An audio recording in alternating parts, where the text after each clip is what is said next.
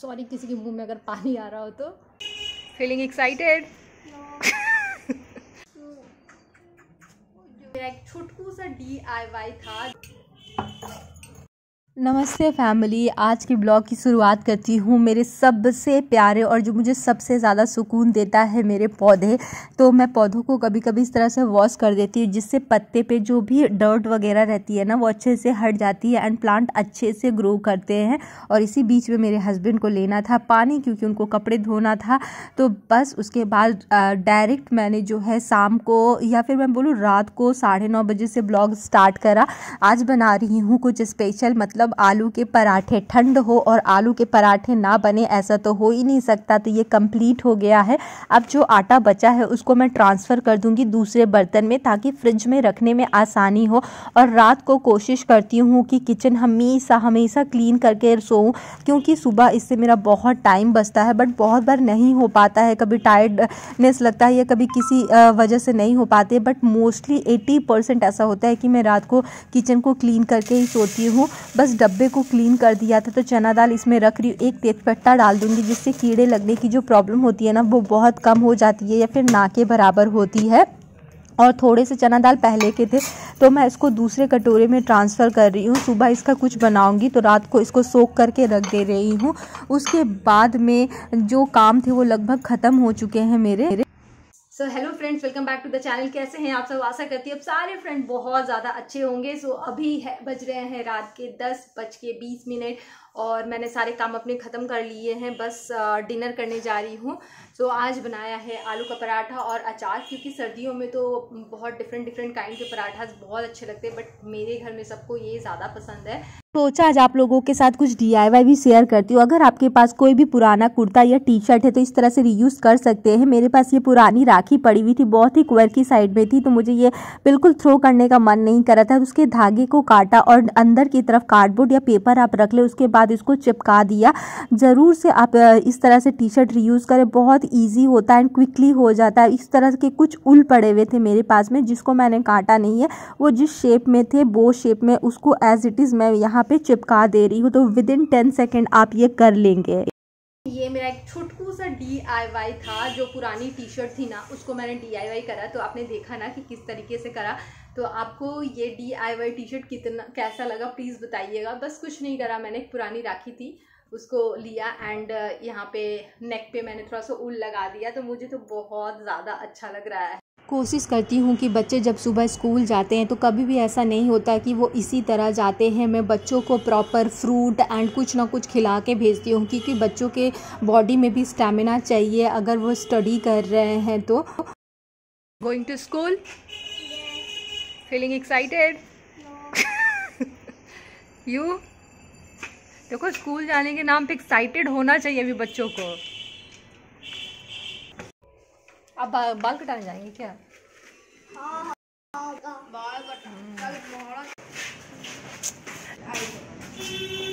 Bye bye तो आज मैं सुबह साढ़े छः बजे से उठी हुई है एंड मुझे अब इतनी नींद टाइप की आ रही है ना। एक्चुअली कल रात को कुछ भी सुबह में बच्चों को क्या देना है? ब्रेकफास्ट इसकी तैयारी नहीं की थी तो मुझे सुबह उठना पड़ा। तो सुबह उठ के एंड सुबह उठी तो बहुत सारे काम भी हो गया मैंने लंच के साथ साथ मैंने ब्रेकफास्ट के साथ साथ दोपहर का खाना भी बना लिया। मतलब खाना इन सेंस सब्ज़ी और जो भी बनना था वो सब बना लिया है। मशीन में बहुत सारे कपड़े धुलने के लिए रखे हुए थे। तो अभी मशीन भी मैंने लगा दी है। में कपड़े धुल गए हैं तो उसको कपड़ों को निकालूँगी। और ये है मेरा सीक्रेट टोनर कुछ दिनों से मैं ये यूज़ कर रही हूँ जो चावल मैं धोती हूँ ना उसमें से सेकंड वॉश जब करती हूँ तो थोड़ा सा पानी निकाल लेती हूँ एंड उसे एज अ टोनर यूज़ कर रही हूँ। ट्रस्ट में स्किन का टेक्सचर बहुत अच्छा हुआ है मेरा।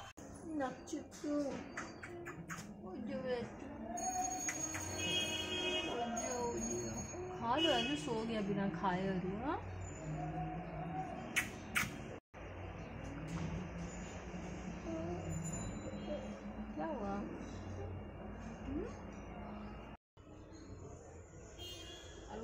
आज अरु स्कूल से आके गुस्से से रूम में भी नहीं गया। देखो, यहाँ पे आया, मुँह फुलाया और इसको नींद आ गई। तो मैंने यहीं पे इसको ब्लैंकेट वगैरह मतलब ढक दिया बट इसने खाना भी नहीं खाया। अब इसकी मैम भी आ गई है तो उसको उठा के बस मैं खाना खिलाऊँगी। अरु, लल्ला। लल्ला लल्ला लल्ला, ओ जमर लल्ला।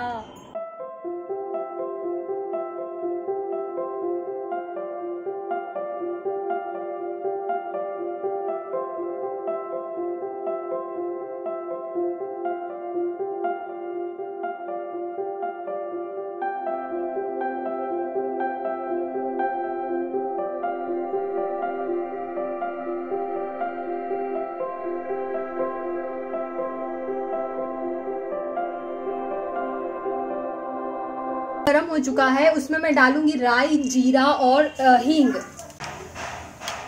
प्याज, जीरा पाउडर, धनिया पाउडर, सौफ पाउडर एक चम्मच, अमचूर पाउडर एक चम्मच। लहसुन और मिर्ची हमने कूटी थी, वो ऐड करेंगे। और जो सारे मसाले मैंने आपको बताए थे, उसमें थोड़ा सा हल्दी। मसालों को लो फ्लेम पे आपने भूनना है। टमाटर, नमक।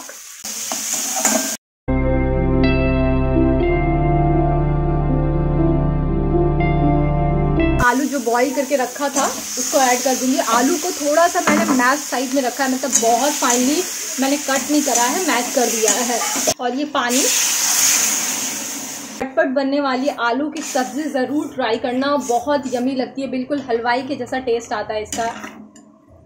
सो काम कहाँ ख़त्म होते हैं? जल्दी जल्दी सोचा आज उस दिन मैंने उतना ही सूट करा उतना सूट करके फिर मैंने आ, मेरे फ़ोन में स्पेस नहीं थी तो मैं कंटिन्यू नहीं कर पाई। ये सैटरडे की क्लिप है। तो आज ना दोपहर में मेरा मन नहीं हो रहा था दाल चावल कुछ बनाने का क्योंकि वेदर इतना गंदा होके रखा है ना तो सोचा कुछ अच्छा सा बनाती हूँ। बच्चों को पूड़ी खाने की मन थी तो झटपट मैंने सोचा कि पूड़ी बनाऊँगी एंड रात का भी मैंने सोच लिया है कि आज रात को खिचड़ी बनाऊँगी क्योंकि क्लाउडी वेदर में ना ये सारे बहुत बहुत ज़्यादा अच्छा लगते हैं। एंड मुझे खिचड़ी तो बहुत बहुत ज़्यादा पसंद है। जब भी मैं अपने घर में खिचड़ी बनाने के लिए बोलती थी ना, मेरी मम्मी मुझे दो चार तो सुनाई देती थी कि पता नहीं इसको खिचड़ी कितना ज़्यादा अच्छा लगता है।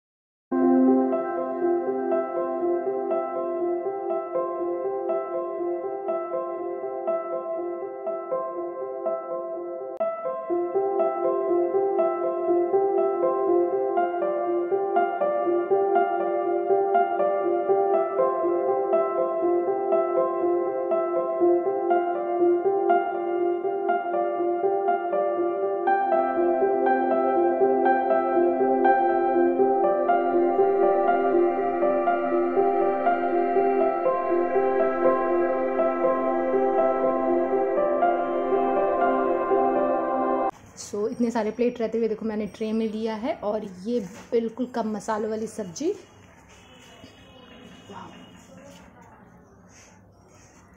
सॉरी किसी के मुँह में अगर पानी आ रहा हो तो।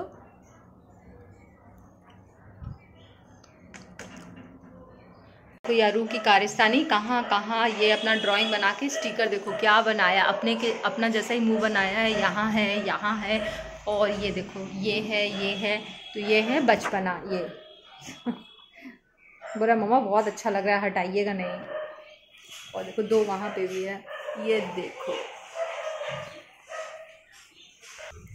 और इसको बहुत अच्छे से आज नहला दिया है, क्योंकि बीच बीच में पत्तों को वॉश कर देने से ना गंदगी हट जाती है, और ये बहुत ही सुंदर सा रेड कलर है सिंगोनियम।